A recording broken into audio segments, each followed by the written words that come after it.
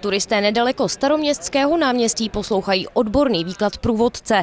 Tím se v současné době může stát prakticky kdokoliv. To by se ale v budoucnu mělo podle vedení magistrátu změnit. Když se zaposloucháte do toho, tak jsou to někdy jako kolosální nesmysly.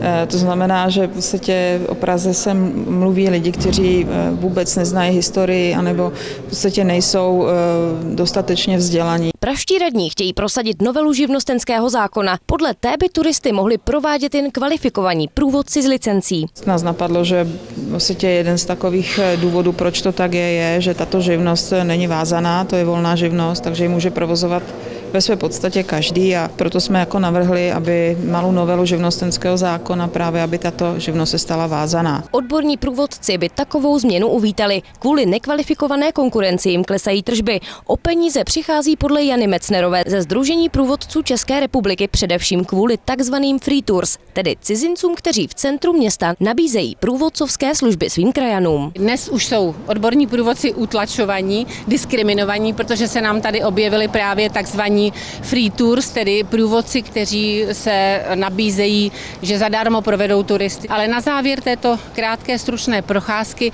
vybírají tips, co mi dáte, co hodíte do klobouku. A každý ten turista to musí mu krajanovi něco, tedy 5, 10, 15 euro. Údajně si cizinci, kteří takto provádějí v centru města turisty, přijdou až na 90 tisíc korun denně. Kdyby se situace mohla změnit, zatím není jasné. Návrh pražských radních musí ještě schválit zastupitelé. Definitivně pak rozhodnou poslanci. Natálie Forsterová, televize Praha.